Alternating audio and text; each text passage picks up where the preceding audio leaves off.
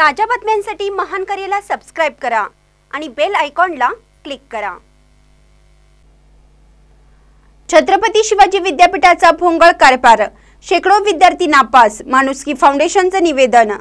छत्रपती शिवाजी विद्यापीठाचा बी कॉम विभागाचा काही दिवसापूर्वी ऑनलाईन निकाल लागला असून त्यामधील बरेच विद्यार्थी परीक्षेला उपस्थित असून देखील त्यांची निकाल पत्रकावर अनुपस्थिती दाखवत आहे. त्यामुळे छत्रपती शिवाजी विद्यापीठाचे शेकडो विद्यार्थी नापास झाले आहेत. त्यामुळे विद्यार्थ्यांच्या मनामध्ये संभ्रम अवस्था निर्माण झाली आहे. ही बाब लक्षात घेऊन माणुसकी फाउंडेशनच्या वतीनं इचलकरंजीमधील व्यंकटेश महाविद्यालयाचे प्राचार्य व्ही ए माने यांना निवेदन देण्यात आलं. यावेळी माणुसकी फाउंडेशनचे अध्यक्ष रवी जावळे माने सर यांना म्हणाले आपण विद्यापीठाकडे विनंती करून विद्यार्थ्यांच्या मनामध्ये भीतीचं वातावरण पसरलं आहे.